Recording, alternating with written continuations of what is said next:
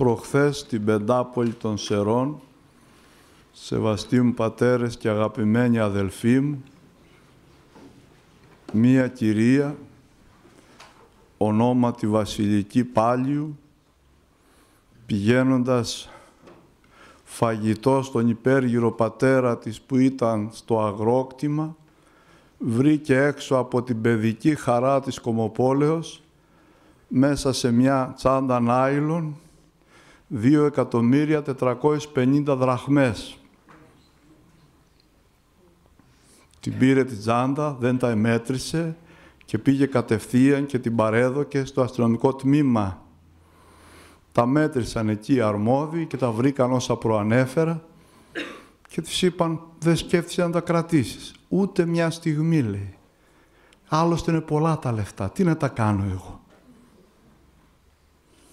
Και βρέθηκε ο κάτοχος που είχε πρατήριο βενζίνης, τσέως 20.000 έβρετρα και ένα τενεκελάδι.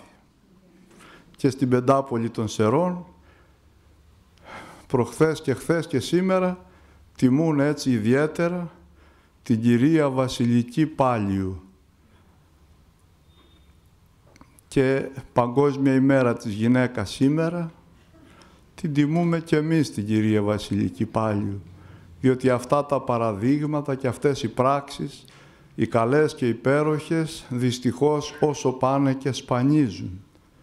Κολλήσαμε οι περισσότεροι στα χρήματα και στα υποστατικά και στα εγκόσμια και ξεχάσαμε την ψυχή μας, ξεχάσαμε την αγάπη μας, ξεχάσαμε τις υποχρεώσεις μας, ξεχάσαμε όλα τα καλά.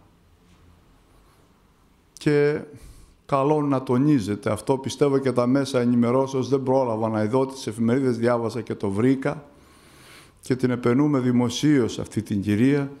Ο Θεός να την έχει καλά, είναι γεμάτη η ψυχή της από καλοσύνη, από αγάπη, από πίστη, από αρετή, από χάρη και δεν έχει κενό και δεν θέλει τίποτε άλλο παρά το καλό του Θεού και το καλό του πλησίου και τη σωτηρία της ψυχής της. Είναι ήρεμη και γεμάτη. Και είναι μέγα παράδειγμα αυτό. Γιατί συνήθως τα μέσα, όχι όλα βέβαια, παρουσιάζουν κατά κανόνα αντίθετα και πράγματα τα οποία μας γεμίζουν απελπισία και όχι μόνο αυτό, αλλά μαθαίνουν και τα παιδιά. Πώς βρίσκουν άλλοι τα ναρκωτικά, που τα κρύβουν, τι τα κάνουν. Νομίζω την καλό αυτό δεν χρειάζεται. Θυμάμαι προετών ήταν κάποιος εκεί, ταλέπορος από τη δράμα που αφαιρούσε τη ζωή από τις γυναίκες κυρίως τον συνέλαβαν και μετά στην τηλεόραση τον ανέκριναν. Πώς έκανες, τι έκανες κλπ. Και αυτός έλεγε βέβαια τι να κάνει. Είχε μυαλό, δεν θα έκανε τι έκανε. Και αν ήταν στα καλά του, κι αν, κι αν. Και ο γέροντας Πορφύριος θυμάμαι λέει, τι τον ταλαιπωρούνε τον άνθρωπο. Δεν τον αφήνουν στο βάσανό του. Και βλέπετε πολλές φορές γίνεται κάτι και τρέχουν εκεί οι δημοσιογράφοι και το ρωτάνε πώς αισθάνεσαι, μετάνιωσε. Τι να πει ο άνθρωπος; Τι να πει ο άνθρωπος, που είναι για εκείνο μια πληγή. Και ο χειρότερος ακόμα, όταν κάνει φόνο, όταν κάνει έγκλημα, όταν κάνει κακό, μην νομίζετε ότι αισθάνεται καλά, αδελφοί μου. Δεν αισθάνεται καλά. Και ούτε οι περισσότεροι θέλουν να φωνέψουν. Αλλά όπως έλεγε πάλι ο γέροντας, ε, αφήνουμε το κακό παιδί μου, θεριεύει μέσα μας και σε μια στιγμή μας βουτάει και μας βάνει και κάνουμε εγκλήματα, κλοπές, αρπαγές και άλλες κακές πράξεις και μετά μας αφήνει και βυθιζόμαστε εμείς στην απόγνωση, στη στενοχώρια, στο σκοτάδι, αφού έχουμε βυθίσει και άλλους σε πένθος και έχουμε θάψει και άλλους στη γη. Γι' αυτό η Εκκλησία επιμένει να κάνουμε και τώρα μάλιστα στην Αγία και Μεγάλη Τεσσαρακοστή τον καλό αγώνα. Να καθαρίσουμε εαυτούς από παντός μολυσμού σαρκός και πνεύματος και να επιτελούμε αγιοσύνη εν φόβο Θεού, όπως βροντοφωνάζει ο μεγαλοφωνότος Ισαΐας και πανλαμβάνει ο Απόστολος των Εθνών Παύλος. Παγκόσμια λοιπόν ημέρα της γυναίκας σήμερα. Δεν μας ενδιαφέρει γιατί την όρισαν. Μας ενδιαφέρει όμως το γεγονός ότι η γυναίκα πρόσφερε και προσφέρει πολλά και στην εκκλησία και στην οικογένεια και στην κοινωνία και στην οικουμένη και με θυσίες και με σταυρούς και γολγοθάδες και βάσανα και με τόνα και με τάλο. Ας πάρουμε την πρώτη γυναίκα, το οποίο με κεφαλαίο, που είναι η Παναγία μας, που υπήρξε και κόρη και μητέρα. Και είναι αρμόδια να καταλαβαίνει και τις κόρες και τις μητέρες. Και είναι η καταφυγή μας. Είναι το παν. Λέει μια κινέζικη σοφία ότι ο Θεός επειδή δεν θέλει να είναι ορατός ενώ είναι πανταχού παρόν, δημιούργησε τη γυναίκα για να εκφράζει μέσω αυτής την άφατη τρυφερότητά του, τη στοργή του, την καλοσύνη του, τη φροντίδα του, την περιποίησή του. Και τα χεράκια κάθε γυναίκας, μάνας και κόρης, που φροντίζουν τον άνθρωπο, τον όποιο άνθρωπο, με στοργή, καλοσύνη, τρυφερότητα, αυταπάρνηση και αυτοθυσία, είναι τα χεράκια του πλάστη μας. Είναι τα χεράκια του πλάστη μας. Εκείνο ο οποίος έπλασε και τον άνδρα και τη γυναίκα. Βέβαια, η γυναίκα στο διάβα των αιώνων πέρασε και περνάει πολλά. Και αν ήξεραν τι έχει γράψει, οι περισσότεροι ίσως ξέρουν, οι γυναίκες όλες τι έχει γράψει πέρα αυτόν ο Άγιος Γρηγόριος ο Θεολόγος, ο αισθηματίας ποιητής της Εκκλησίας και της Οικουμένης, θα του έστειναν αδριάντα. Ξέρετε τι λέει σε κάποιο σημείο των έργων του, άνδρες οι κατά γυναικών νομοθετήσαντες. Τι λέει ωραία. Βέβαια, διότι αγαπούσε ο Άγιος Γρηγόριος, όπως και η Εκκλησία αγαπά τη γυναίκα. Άλλωστε η γυναίκα, όπως και ο άνδρας, είναι και εκείνη άνθρωπος. Και τι λέει στη γέννηση, στην πλαστούργηση του ανθρώπου και στη δημιουργία των υπολείπων κτισμάτων, τι λέει μεταξύ των άλλων σοφότατος Μωυσής, και επίησεν ο Θεός των άνθρωπων. Πρώτα ο άνθρωπος. Άρσεν και φίλοι επίησεν αυτούς. Και ύστερα ο ρόλος. Γι' αυτό λέει και στο πιστεύω των διημάσους ανθρώπους για τη μετέραν σωτηρίαν δεν έχουμε χωριστή σωτηρία για τη γυναίκα, χωρίς σωτηρία για τον άντρα, όχι. Η διαφορά είναι στο ρόλο. Και αυτά που έδωσε ο Θεός αντίθετα, τα έδωσε για να μας ενώνουν. Ο διάβολος όμως και ο εγωισμός και η φιλαυτία μας τα χρησιμοποιούν για να μας διαιρούν. Είναι ρόλος λοιπόν του ανδρός και ρόλος της γυναικός, ο οποίος ισχύει μόνο για την παρούσα, για την ενεστώσαν ανάγκη, όπως λέει ο Απόστολος Παύλος, για την παρούσα φάση του βίου. Στο μέλλοντα αιώνα δεν θα έχουμε ρόλους, ούτε φύλλα. Θα είμεθα ως άγγελοι εν το ουρανό. Και αυτή τη γενική πρόβα, την πρόβα Τζενεράλε, κάνει στην εκκλησία μας ποιος, ο μοναχικός βίος. Γιατί είναι ζωή αυτή του μέλλοντος αιώνος. Ζωή αγγελική. Ισάγγελος βίος. Ε, για έναν εισάγγελο θα μιλήσουμε σήμερα. Και θα αναφερθούμε και πάλι στις γυναίκες. Και τις ευχαριστούμε ολόψυχα. Και τις μητέρες και τις κόρες. Και τις επώνυμες και τις ανώνυμες. Και τις μεγάλες και τις μικρές. Και τις δοξασμένες και τις ταλαιπωρημένες και τις δικαιωμένες και τις αδικημένες. Τους βάζουμε μετάνια.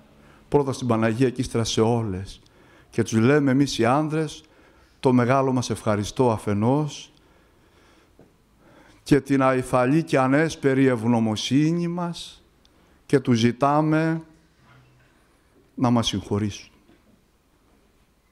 Για ό,τι τυχόν εκουσίως ή ακουσίως τις εθλίψαμε, τις στενοχωρήσαμε, τις υποβιβάσαμε, τις δυσκολέψαμε. Και γιατί έρχονται περισσότερες γυναίκες στην Εκκλησία παρά άνδρες; Ξέρετε γιατί; Συνειδητά ή ασυνείδητα γνωρίζουν ότι ο μόνος άνδρας που απολύτως τις ετίμησε και τις ανέβασε στο ύψος εκείνο που τις έφτιαξε είναι ποιος, ο Ιησούς Χριστός, τον οποίο κάποιος ανόητος τον βρίζει, αλλά δεν θα ασχοληθούμε μαζί του.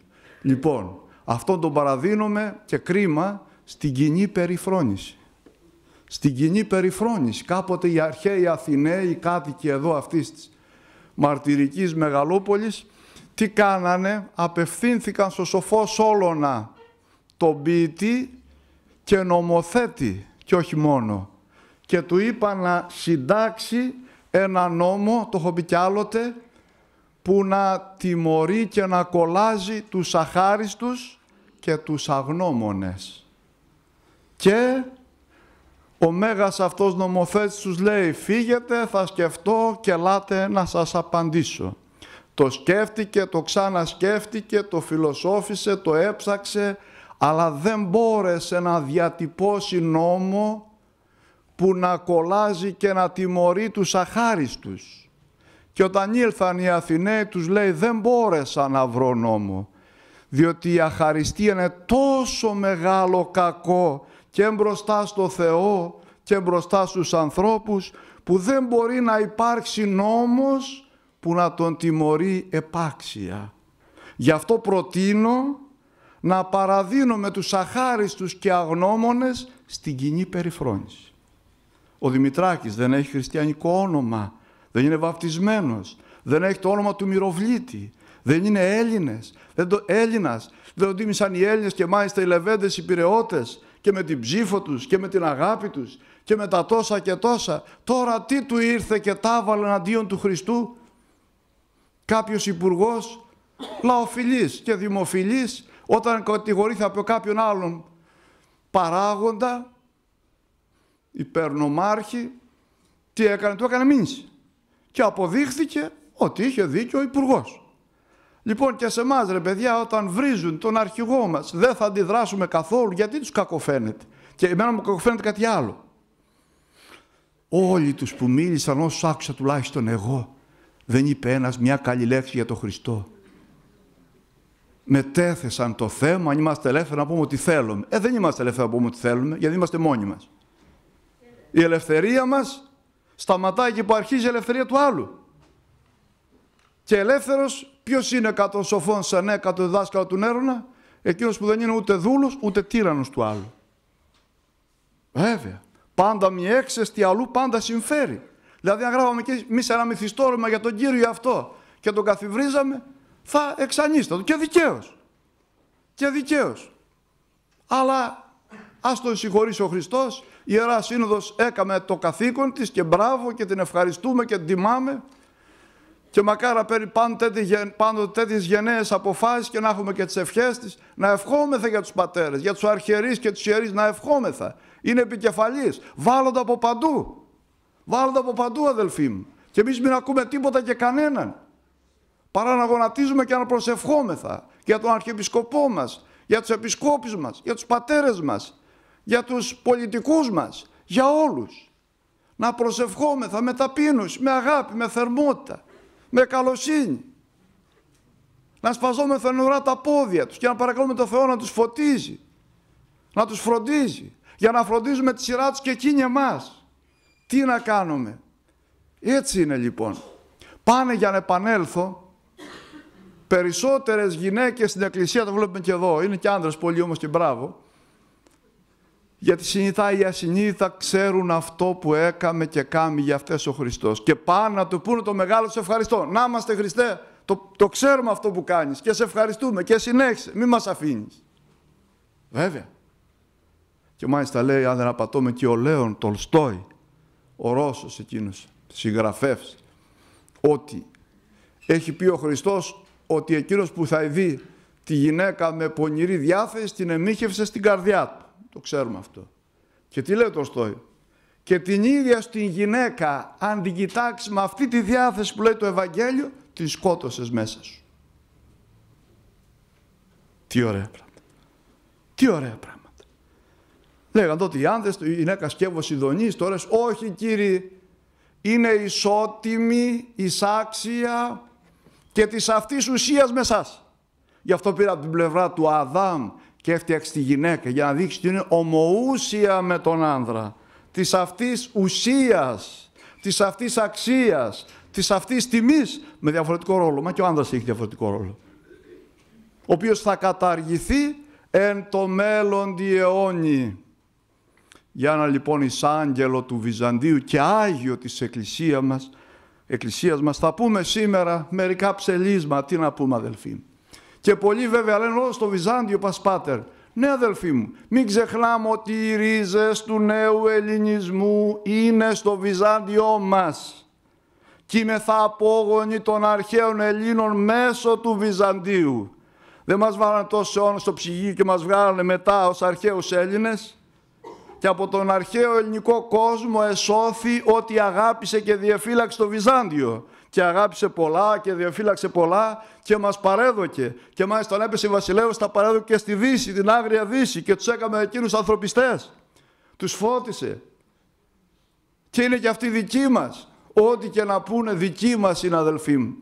Δεν μπορώ να το χωνέψουν, δεν θα το χωνέψουν. Δικοί μας, δηλαδή του Χριστού, της Ορθοδοξίας, της Ανατολής των Ανατολών.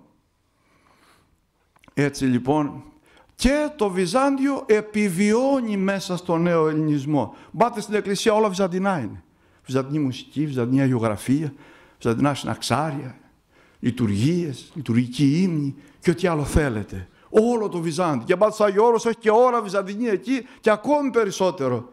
Τι είναι το Βυζάντιο; Η δράση της Εκκλησίας σε μια πολυεθνική αυτοκρατορία. Η δράση της Ορθοδόξου Εκκλησίας. Ήταν στο Βυζάντιο κέντρο η Εκκλησία. Και ο σκοπός της ζωής των ανθρώπων ήταν ένας, ο αγιασμός. Το ιδεώδες των Βυζαντινών ήταν ο αγιασμός, η αγιώτης.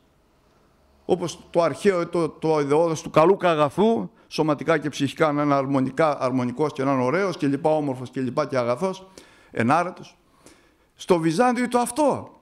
Στα νότερα χρόνια είναι το ιδεώδες του ανθρωπισμού. Είναι επίκεντρο ο άνθρωπος. Προσπαθεί τώρα ο πολιτισμός μας να τον κάνει να σταθεί μόνος του στα πόδια του. Επαναλαμβάνοντας το, το πείραμα της αυτοθεώσεως στον επίγειο παράδεισο. Με δικά του μέσα. Γι' αυτό και οι πολιτικοί συνήθως και οι υπόλοιποι μιλάνε μόνο για τα οικονομικά, μόνο για το ένα και μετά. Ο άνθρωπος δεν είναι μόνο ύλη, μακάρι να ήταν ύλη.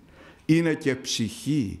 Ψυχή βαθιά, ψυχή μεγάλη ψυχή κατ' εικόνα και ομοίωση του πλάσαντος, που δεν χορταίνει με αυτά. Τι να τα κάνει; Δεν μπορεί να μαζέψει όλα τα λεφτά ο άνθρωπος. Είναι απ' έξω από την ψυχή του. Τι να κάνει με αυτά; Γι' αυτό και η κυρία Βασιλική πάλι η καημένη λέει τι να τα κάνει; Ήταν πολλά τα λεφτά. Ήταν πολλά τα λεφτά. 2.350.000 ήταν πολλά τα λεφτά. Τι να τα κάνει που αυτή μπορούσε να ζήσει και με ένα χιλιάρικο να φάει το ψωμάκι της, να βγάλει τα λαχανάκια της, να έχει το τυράκι της, να έχει ό,τι άλλο εκεί πέρα και τελείω. Και ήταν γεμάτη η ψυχή της. Δεν γεμίζει. Γιατί σήμερα τι πάνε να μας κάνουν να πιστέψουμε; Ότι αλήθεια είναι αυτό που φαίνεται. Ό,τι φαίνεται. Οι ύλοι και τα παραπόμενά της, οι δονές, οι επίγειες, οι δόξες, οι τιμές, τα λεφτά προπαντός και ό,τι άλλο συναφές. Ε, μα αλήθεια δεν είναι αυτό. Κακά τα ψέματα, αδελφοί. Αλήθεια είναι αυτό που δεν φαίνεται. Καταλάβατε; Αλήθεια είναι αυτό που δεν φαίνεται. Δηλαδή ο Θεός και η ψυχή μας. Γι' αυτό λέει ο Άγιος Κοσμάς, ο Πάτρος Κοσμάς, ψυχή και Χριστός σας χρειάζονται. Αυτά τα δύο να μην τα δώσετε με τίποτα. Τα αγαθά θα σας τα πάρουν, το σώμα σας θα το κάψουν και θα το τηγανίσουν, τα πάντα θα τα εξαφανίσουν. Μη φοβήστε, αυτά έτσι κι αλλιώς φεύγουν. Αυτά τα δύο άμα κρατήσετε θα έχετε τα πάντα. Γι' αυτό και φεύγοντας από αυτή τη μάταιη πλάση, μας σταυρώνουν τα χεράκια, δεν παίρνουμε τίποτα. Λοιπόν,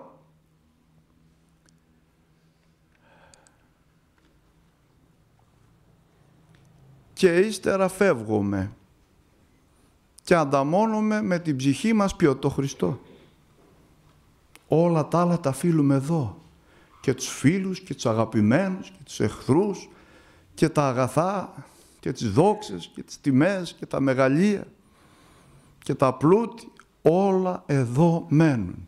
Τα λέω ωραία άλλωστε η ακολουθία της κηδείας που είναι μια μεγάλη φιλοσοφία αδελφοί μου. Βέβαια. Και παίρνουμε την ψυχή μας και τα έργα της, τα οποία μας ακολουθούν.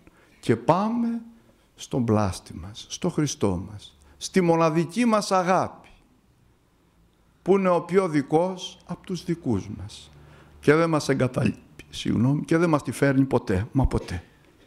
Ποτέ μα ποτέ δεν μας τη φέρνει ο Χριστός. Την έφερε στον εαυτό Του και αν ήταν κάτω στη γη τώρα και περπάταγε και αντάμωνε τον Κύριο Μίμη, θα του λέγε «Μα τι τέτοιες λες ρε Μιμάκο, τι βλακίες είναι αυτές ρε Μίμη, έλα ρε να σε πάρω αγκαλιά, αφού εμένα θέλεις αδελφέ μου, αν δεν βρε να γεμίσει η ψυχούλα σου, να γίνεις καλά κι εσύ». Άλλωστε από το ύψος του σταυρού δεν ήφιε το υπέρ των σταυρωτών του. Πάτερ άφες αυτή σου γαρίδα στυπιούση. Και όταν πήγαν στη Σαμάρια κάποτε πρώτη σταυρώσεως και τους εδέχθηκαν τι είπε ο Ευαγγελιστής της αγάπης. Θέλεις Κύριε να παρακαλέσουμε τον Θεό να ρίξεις φωτιά να τους κάψει όπως έκανε και ο Ηλίας. Και τι έκανε ο Χριστός, τους εμάλωσε. Εμείς δεν εκφράζουμε πια το πνεύμα της Παλαιάς Διαθήκης που είναι φόβος και τρόμος και χρειαζότανε τότε, γιατί του χρειάζεται και ο φόβος και ο τρόμος του ανθρώπου, γιατί κάνει πολύ τον παλικαρά πολλές φορές, για να μαζεύεται και λιγάκι. Αλλά έχουμε το πνεύμα της αγάπης, της συγνώμης, της καλοσύνης, της αρχοντιάς, της ελευθερίας, της ανέσεως. Έτσι, έτσι είναι αδερφοί μου. Και κάποτε φαίνεται τον κοίταζαν τον Χριστό έτσι με πονηρές σκέψεις. Γιατί τον έλεγαν οι Φαρισαίοι και οι υπόλοιποι ότι ήταν φίλος αμαρτωλών και τελωνών και πορνών και φάγος και πότης.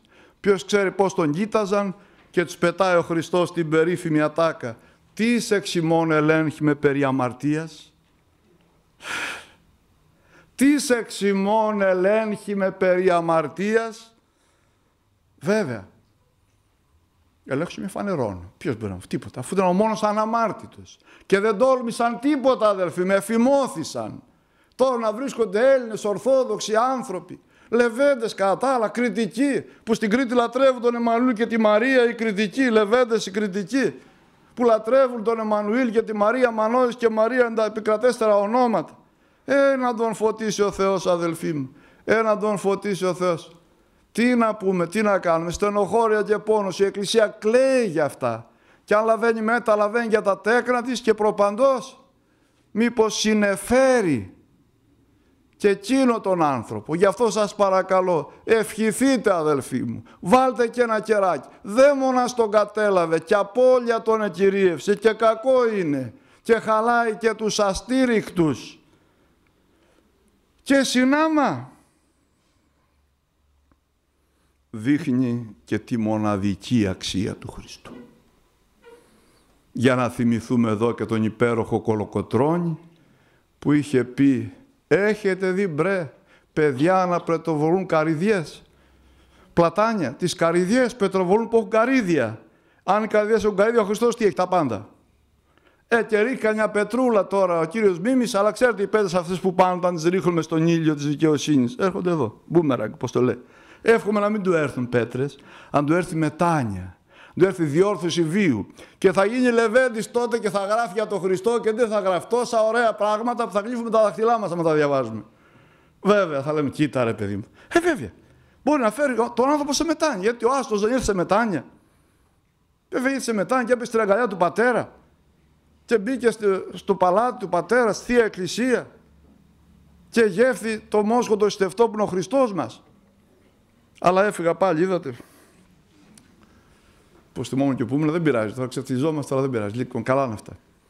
Θα μιλήσουμε λοιπόν για έναν εισάγγελο του Βυζαντίου. Είπαμε για το Βυζάντιο, ε, πούμε κι άλλα κι άλλες φορές. Είναι οι ρίζες μας εκεί, αδερφοί μου. Το βλέπω τους ξένους έρχονται και πάνε στην Τουρκία, οι ξένοι Ευρωπαίοι για οπουδήποτε γης και ψάχνουν με λαχτάρα.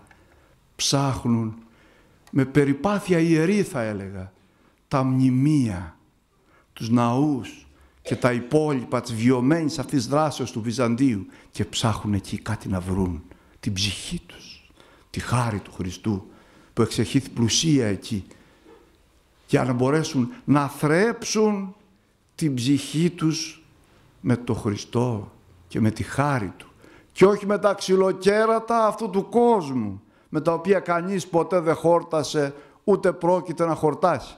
Και αν εμείς πάμε στη Βασιλεύουσα πολλές φορές Πιο πολύ γιατί πάμε, ξέρετε, αγοράσουμε και πέτσι που είναι φτηνά, να αγοράσουμε, δεν λέω. Αλλά εντάξει. Εμείς τον έχουμε βέβαια τον Χριστό και περισσεύει. Βαράνε οι καμπάνες εδώ και ένα καλά η δημοκρατία μας μας επιτρέπει και τους ευχαριστούμε. Γιατί αλλού χρόνια και χρόνια δεν επέτρεπαν, δεν τα ξεχνάμε. Μπορεί να είναι ό,τι να είναι και να κάνουν ό,τι κάνουν, ούτε εμείς είμαστε καλύτεροι, τους μοιάζουμε. Λοιπόν,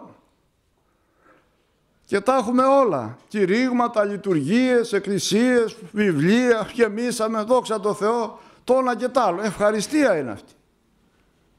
Ευχαριστούμε έτσι. Τα έχουμε λοιπόν και να τα εκτιμούμε και να μην είμαι θα προπαντός αχάριστοι, γιατί πονάμε και το θεάνθρωπο.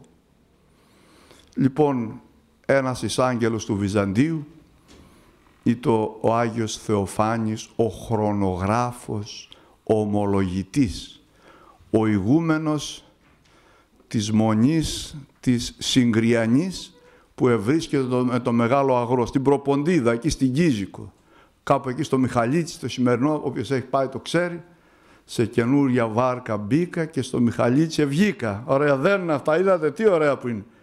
Βέβαια, εγεννήθη τον 8ο αιώνα, 760, στη βασιλεύουσα από γονείς πλουσιωτάτους. Επήρε,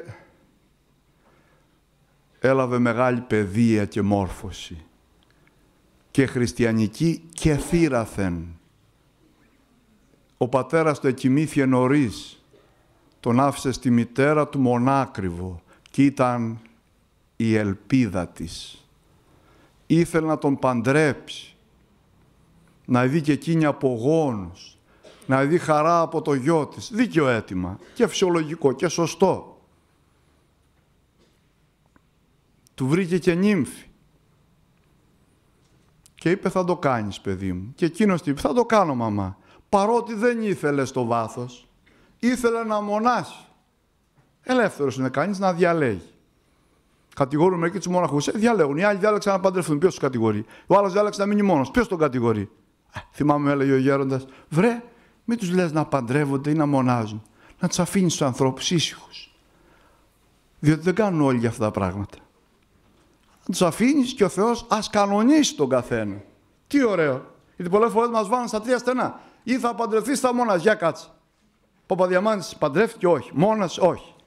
Και όμως είναι ο Άγιος των ελληνικών γραμμάτων και ο Μέγας Αλέξανδρος της ελληνικής λογοτεχνίας και εθνικός και υπερεθνικός συγγραφεύς. Άλλωστε, πολλαίο δι εις Ρώμην άγουση. Λέει ο Ιερός Χριστός επαναλαμβάνοντας την αρχαία γνωστή παροιμία. Έτσι λοιπόν. Αλλά θέλησε να ευχαριστήσει τη μητέρα του, να την τιμήσει. Και έκαμε τους γάμους του. Και χάρηκε εκείνη. Χάρηκαν και οι συγγενείς ήταν αμέτρητο πλήθος κόσμου. Αλλά η Μεγαλού, η σύζυγός του, έτσι λέγεται, είχε και αυτή την ίδια λόξα με θετική σημασία. Ήθελε και αυτή να μονάσει, αλλά δεν έλεγε. Και αφού κάναν το γάμο και αποσύρθηκαν, λέει τώρα δεν κάνουμε και άλλη μια παλικαριά, βρε Θεοφάνη, πώς τον έλεγαν τότε. Τι παλικαριά. Τι αυτό που σκέπτεσαι εσύ, του λέει σκέπτομαι κι εγώ. Έτσι κι αλλιώς περνάνε αυτά τα πράγματα. Παράγει το σχήμα του κόσμου τούτου. Και οι έχοντες ως μη έχοντες, που λέει ο Μέγας Απόστολος Παύλος. Λοιπόν, δεν πάμε να μονάσουμε. Αφού το θέλουμε και οι δυο και μάλιστα τόσο πολύ. Δεν κάνουμε και ένα καλό καλό για την ψυχή μας, θα επαναλαμβάνουμε το νεότερο δημοτικό τραγούδι. Πάμε λέει. Και το έκανα. Μπορεί κάποιος σήμερα να γελάσει, αλλά είναι πολύ σοφό. Και πολύ ωραίο. Άλλωστε το τραγουδάμε και σήμερα ακόμα. Η σωτηρία της ψυχής είναι μεγάλο πράγμα. Και σήμερα κυνηγάμε την αγιότητα. Όσο ποτέ άλλοτε αδελφοί μου, κακά τα ψέματα. Γι' αυτό και τους γέροντες που εκοιμήθησαν, δεν τις αφήνουμε σε ησυχία, με τις προσευχές μας. Βγαίνουν βιβλία για αυτούς και γίνονται ανάρπαστα. Πολλές εκδόσεις. Πολλές εκδόσεις. Γιατί διψάμε την αγιότητα θέλουμε και εμείς να αγιάσουμε. Γιατί αυτός είναι ο σκοπός και ο προορισμός μας. Και αυτό είναι το φυσικό μας κλίμα. Αυτό είναι το φυσιολογικό για την ύπαρξη. Και γι' αυτό επιμένουμε. Αν αμαρτάνουμε και ξεφεύγουμε, πονάμε και υποφέρουμε. Γιατί αυτό είναι αφύσικο, είναι άστοχο, εξού και αμαρτία. Αμαρτάνω σημαίνει σφάλω περί των σκοπών. Ξαστοχώ. Σκοπός του ανθρώπου και το σκοπό αυτών διότι είναι ο Θεός. Για σένα μας έπλασε ο Θεέ μου, λέει ο Όρος Αυγουστίνος, και είναι ανίσχυη η ψυχή μας έως ότου αναπαυθεί σε σένα. σε σένα. Και πήγαν και μόνασαν με τα χρήματα που είχαν έφτιαξαν μονές, χωριστές και μάζεψαν γύρω τους και άλλους μοναχούς, ο Άγιος Θεοφάνης και άλλες μοναχές η Μεγαλού που μετονομάστη εις Ειρήνη. Ήταν όμως τότε τα χρόνια δίσεκτα και οι μήνες οργισμένοι. Είχαμε το μεγάλο ζήτημα της οικονομαχίας, που ήταν μια εμφύλια διαμάχη η χειρότερη, η σκοτεινότερη και η πουλότερη. Δεν θα αναλύσουμε τώρα τα αίτια της οικονομαχίας, που κατά βάση ήσαν αίτια οφειλόμενα στην ιδιοσυγκρασία του ασιανού χριστιανισμού αφενός και του ελληνικού περί την Μεσόγειον χριστιανισμού αφετέρου. Οι Ασιανοί χριστιανοί έχουν περισσότερον καρδίαν και ο λιγότερον ή καθόλου νουν. Γι' αυτό από εκεί και ο Άγιος που έχει πει «Έχουν καρδίαν δύναται σωθήνε ο αβάς ποιμήν». Και τι έχουν περισσότερο, ανικονική αντίληψη του Θείου. Δεν μπορούν να φανταστούν ότι το θείο ρικονίζεται. Αλλά του απαντά ο ιερός Δαμασκηνός ότι ο λόγος άρξε γένετο και εσκήνωσε έναν ημίν. Και την απάντηση που έδωσε στο Φίλιππο που του είπε ο ορακός «Εμέ εώρακε και τον πατέρα». Αυτή ήταν η κυρία αιτία. Γι' αυτό και χώρισε η Ανατολή, η Ανατολική χριστιανοσύνη από την ελληνική χριστιανοσύνη. Και έγινε η διαμάχη, στο τέλος επεκράτησε όμως μέσω των Αγίων η ελληνική χριστιανοσύνη. Είναι πολύ σπουδαίο αυτό. Γι' αυτό μετά τους δύο αιώνες της υγιής έχουμε τη αναγέννηση των ελληνικών γραμμάτων μέσω μεγάλου φωτίου κλπ. Αλλά δεν θα ήθελα να μείνω εδώ. Λοιπόν, είχαμε μεγάλη δυσκολία και μάλιστα όπως λέει ο Άγιος Νεκτάριος στο βιβλίο του Οικουμενικές Σύνοδοι οι άνδρες έφεραν τα πράγματα σε τέτοια δεινή θέση και σε τόσο μεγάλο αδιέξοδο που δεν υπήρχε ούτε εφαίνετο στον ορίζοντα λύσης. Και τι έκανε ο Πανάγαθος Πλάστης, έφερε στην εξουσία γυναίκες παρακαλώ. Να τη μέρα της γυναίκας η παγκόσμια επανερχόμεθα η οποία γυναίκα έχει θρησκευτικό αίσθημα, όχι συνέστημα, προσέξτε το, θρησκευτικό αίσθημα και ευαισθησία. Και εκεί που οι άνδρες δεν μπορούσαν να βρουν λύση, ευρήκε η γυναίκα. Και προκειμένου η, Ειρήνη η Αθηναία, η πατριώτησά μας, από την οικογένεια των Σαραντάπηχων, που έχουμε ακόμη ένα μνημείο της δίπλα στο Μετροπολιτικό Ναό, είναι ο Άγιος Ελευθέριος και είναι κτίσμα της ειρήνης της Αθηναίας. Λοιπόν αυτή η ειρήνη μπόρεσε με το θρησκευτικό αίσθημα, τη γυναικεία ευαισθησία, τη μεγάλη πίστη και σύνεση που είχε, μπόρεσε και έλυσε συνοδικός το μέγα αυτό ζήτημα περί των ιερών εικόνων. Με την 7η Οικουμενική Σύνοδο, 7-8-7 μετά Χριστόν. Λοιπόν, έτσι, Καμιά φορά κάνει η γλώσσα και κανένα λάθος. Πέντε φορά για το σεφέρι, γιορτάζουμε τα 100 χρόνια από το θάνατο του, όχι από τη γέννησή του. Είναι αυτονόητα μερικά πράγματα, αλλά ε, κυλάει η γλώσσα, το μυαλό αλλού. Ε, συγχωρέστε με, κάτι πρώτο μετά Χριστού, μερικά είναι αυτονόητο. Τώρα κανείς κολλάει εκεί, σου λέει το πες τόπα. Κάθε φορά κλάνει και ο νους, το έχουμε πει αυτά. Λοιπόν, και λύνει συνοδικός και μέσω του Πατριάρχου Ταρασίου, του Θείου του Μεγάλου Φωτίου ο οποίος και αυτός ήταν πρωτασυκρίτης, πρωθυπουργός, και ανέλαβε όλα τα αξιώματα και έγινε πατριάρχης. Και ελήθη συνοδικός και διατυπώθηκε η ορθόδοξη διδασκαλία περί των ιερών Αγίων εικόνων, με βάση κυρίως τη διδασκαλία του Αγιοάννου, του Δαμασκηνού, του Χρυσορόα. Έχουμε να πούμε γι' αυτό πολλά, αλλά πότε θα τα πούμε. Λοιπόν, και ήρθε η ειρήνη στην Εκκλησία και αγάπη και συμφιλίωση. Αλλά η ειρήνη αργότερα καβάλισε το καλάμι τύφλωσε τον ιό της. Και ενώ μέχρι τώρα ο Άγιος Νεκτάριος την έψαγε, μετέπειτα στην υπόλοιπη συμπεριφορά της την έψαγε, την επενούσε, στη μετέπειτα συμπεριφορά της την ψέγει. Αυτός είναι ο δίκαιο ιστορικός. Και ωραίο, ωραίο βιβλίο αυτό. Ε, Οικουμενικέ Σύνοδοι. Άμα το βρείτε, πάρτε, είναι πάρα πολύ καλό. Και το άλλο που γράφει για τα ιερά μνημόσυνα και περί αθανασίας της ψυχής που αποκτήσει στο σταθμό της Εκκλησίας για τα μνημόσυνα. Και πολλοί διαμαρτυρήθηκαν από το, στο τηλέφωνο του σταθμού. Τι λέω, ας πάρουν το βιβλίο αυτό του Αγίου Νεκταρίου και λέει τόσα πολλά, τόσο όμορφα, τόσο πιστικά και τόσο τεκμηριωμένα πράγματα. Η ειρήνη λοιπόν για να επανέλθω έχουμε μόνο 10 λεπτά, η ειρήνη καβάλει το καλάμι. Και ήταν βασιλεύς η ίδια, έκοψε και νόμισμα και έγραφε η ειρήνη βασιλεύς. Πού να βάλει βασίλης, δεν τολμούσε. Και έχουμε το 800 γυναίκα αυτοκράτορα στο Βυζάντιο. Γι' αυτό και ο Πάπας ετόλμησε και έστεψε αυτοκράτορα των Ρωμαίων, τον Καρλομάγκλο. Και μάλιστα την εζήτησε εις γάμων την ειρήνη, αλλά δεν πρόλαβε, ο Νικηφόρος ο πρώτος που ήταν εκεί πέρα αυτά, της πήρε τη θέση και έγινε αυτοκράτορ. Και τι έκανε όμως ο Νικηφόρος, δυστυχώς άνοιξε πάλι σιγά σιγά το θέμα της οικονομαχίας.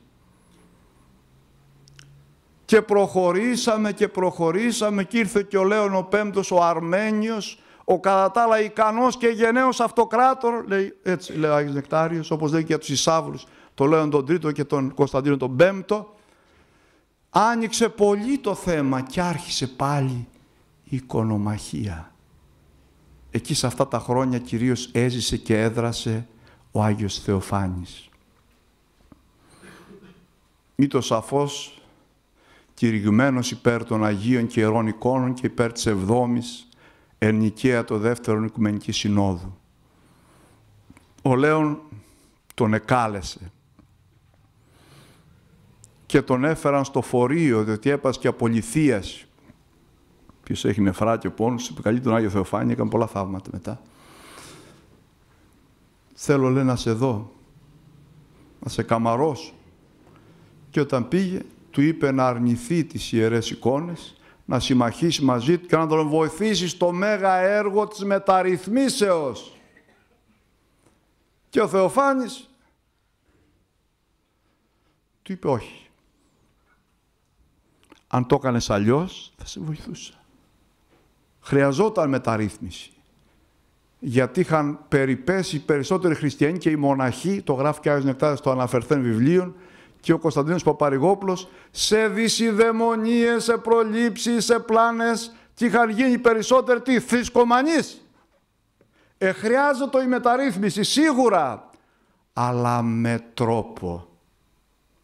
Γιατί οι Ίσαυροι πήγαν άκομψα, εκβιαστικά, παλικαρίσια, όχι με την καλή σημασία και ξεσήκωσαν την αντίδραση. Και είχαμε αυτή την εμφύλια διαμάχη, η οποία πάρω λίγο να αφάνιζε την αυτοκρατορία και να επέτρεπε σε όλους τους βαρβάρους να μπουν και να βαρβαρωθεί η οικουμένη. Φύλαξε βέβαια ο Θεός. Και τότε, δυστυχώς δεν έχω πολύ χρόνο, τότε διέταξε και έριξαν τον βαρέως ασθενούντα μοναχών Θεοφάνην στα μπουντρούμια και στις φυλακές της βασιλεύουσας.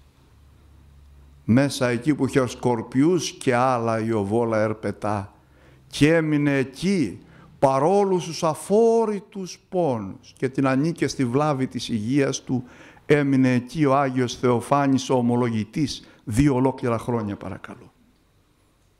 Μέσα σε αφόρητους πόνους και με ανίποτη κακομεταχείριση εκ μέρους των οικονομάχων. Αλλά δεν έκαμψε γόνι τη βάλ. Εστάθηκε ολόρθος στην ψυχή και άγρυπνος και πιστός και ομολογητής και υπέρμαχος και υπερασπιστής της Ορθοδόξου πίστεως τον έβγαλε από εκεί ο αυτοκράτορο, ο Λέων ο Πέμπτος, ο κατά τα άλλα γενναίος και ικανός, όπως προείπα για το που είπε ο Άγιος Νεκτάριος, και τον στέλνει προς μείζωνα τιμωρίαν και απομάκρυνση στη Σαμοθράκη. Ξέρετε που είναι η Σαμοθράκη. Λοιπόν, είχε δε εκεί πάρα πολλά ιωβόλα ερπετά, αμέτρητα και υπέφερε είχε τραβήξει στα μπουντρούμια και δεν μπορώ Θεέ μου άλλο να αντέξω πια τα ιωβόλα ερπετά και τους ανθρώπους και λοιπά. Σε παρακαλώ Κύριε, εξαφάνισε από αυτό το νησί όλα τα ιωβόλα ελπετά, τα δηλητηριώδη δηλαδή ελπετά. Και από τότε μέχρι σήμερα στα Σαμοθράκη δεν υπάρχουν τέτοια. Είναι δώρο του Αγίου Θεοφάνου, του ομολογητού. Βέβαια. Έμεινε εκεί μόνο 23 ημέρες. Και στις 12 Μαρτίου του 717 ή κατάλληλος του 718 μετά Χριστόν παρέδοκε την μαρτυρική του ψυχή στον έσπλαχνο πλάστη. Αφού έδωσε για εκείνον και για το συνάνθρωπο τα πάντα και την ίδια τη ζωή του. Μας άφησε όμως υπόμνημα, μας άφησε έργο, μας άφησε τη γνωστή και θαλερά χρονογραφία του, που είναι καταγραφή των γεγονότων κατέτος, ένα είδος απομονευμάτων, που είχαν σκοπό όχι τόσο πολύ την ιστορική αλήθεια, αυτό το έκανε ιστοριογραφία, αλλά ήθελε με αυτό να τέρψει και να ωφελήσει τους αναγνώστες.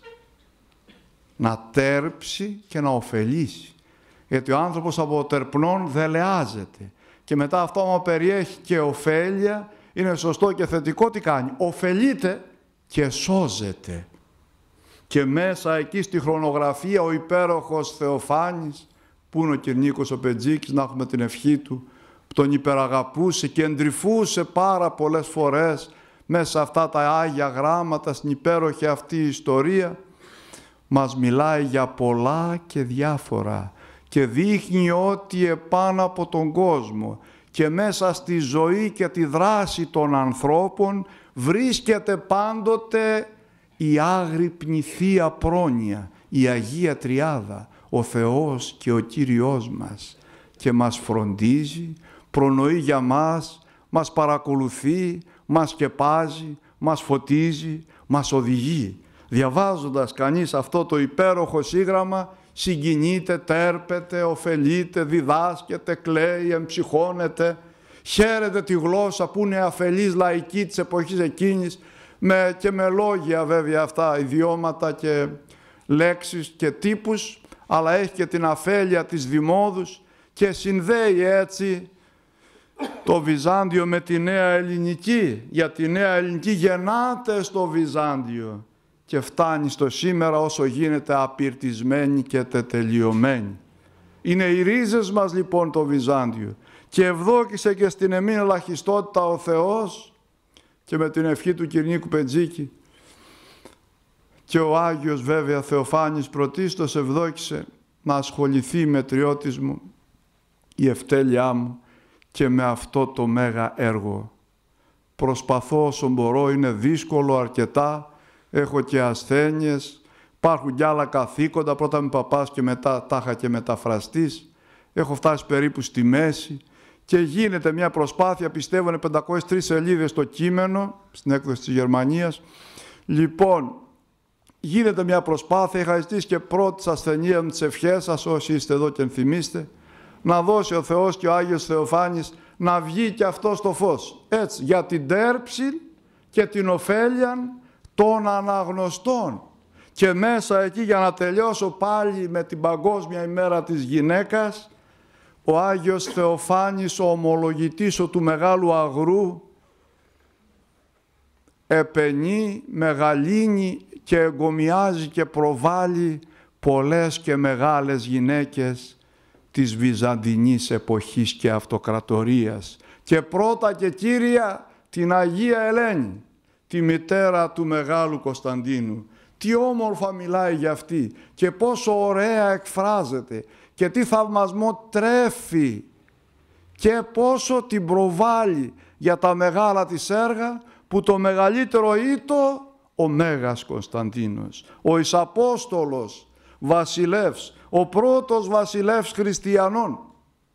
Ύστερα μιλάει για την Αγία Πουλχερία, έχουμε μιλήσει για εκείνη, για την Ευδοκία, τη γυναίκα Θεοδοσίου του Δευτέρου του Μικρού, την ύμφη της Πουλχερίας, την Αθηναία, την Αθηναίδα. Μιλάει στη συνέχεια για τη Σοφία, τη γυναίκα του διαδόχου του μεγάλου Ιουστινιανού Ιουστίνου του Δευτέρου, η οποία όταν έγινε αυτοκράτορ ο Ιουστίνος ο Δεύτερος, τι κάνει, μάζεψε όλους τους χρεοφιλέτες και όλους τους δανειστές και ενεχειροδανειστές και χρηματιστές, υπάρχει διαλέξη μέσα, αυτή ακριβώς που και σήμερα, της βασιλευούσης και τον Πέριξ. Και ζήτησε από τους δανειστές να δώσουν τα χρεόγραφα αφενός εκείνη και τα ενέχειρα. Και μπροστά στους χρεοφιλέτες και μπροστά στους δανειστές βέβαια, τα έσχισε. Και λέει, αφού, έχετε, αφού δανείζετε σημαίνει ότι έχετε. Άρα λοιπόν αυτά που έχετε τώρα σας στάνουν να ζήσετε. Σχίζει τα χρεόγραφα λοιπόν και επιστρέφει τα ενέχειρα στους κατόχους των. Και έγινε, λέει ο Θεοφάνης Περιχαρός, λέει, έγινε μεγάλη χαρά στη Βασιλεύουσα και στα Πέριξ. Και έφτασε αυτό και πέρα ακόμη. Και όταν ο Ιουστίνος ήταν νευρικός και μάλωσε κάποτε τον αδελφό του άδικα και έβαλε και τον έβγαλε με τις μπουνιές έξω από το Σιλέντιο εκεί το Συμβούλιο, τον μάλωσε η Σοφία. Λέει, τι έκανες βρε, τον αδελφό σου μάλωσες. Και πάει αυτό έχει κρυφτεί στο στάβλο ο αδελφός του. Και πάει και τρέχει. Πέρασε η ώρα που. Λοιπόν, και τρέχει και τον βρίσκει εκεί. Ο άλλος φοβήθηκε και γύριζε μέσα στους στάβλους. Κάποτε τον έπιασε και του λέει ο Ιωστίνος, συγχώραμε και ως βασιλιά και ως αδελφός. Ναι, να σε συγχωρέσω, αλλά με έβαλες και με βάρεσαν μπροστά σε όλους. Είναι ντροπή και δεν το αντέχω. Και του λέει στη συνέχεια, απολογήσου αυτά στα άλογα. Απολογήσου θα ειδευτεί, κατάλαβα αυτά το μόνο μου περισσότερο και σε αυτά μίλησα και απαλάγηκα. Αλλά δεν θα ήθελα να πω τίποτα άλλο παρά να σταματήσω εδώ. Την Κυριακή 13, 12 του μηνός, που είναι η μνήμη του Αγίου Θεοφάνου, θα κάνουμε θεία λειτουργία. 6 με 7.30 θα πούμε περισσότερα εκεί. Και το Παρασκευή και Σάββατο έχουμε λειτουργία. Και την ερχόμενη Τετάρτη θα κάνουμε το Μέγα Απόδειπνο και μετά θα μιλήσουμε για μια άλλη Βυζαντινή Λεβέντισσα. Χίλια ευχαριστώ. Τι περμάχο στρατηγότα νικητήρια ως λυτρωθήσα των δίνων ευχαριστήρια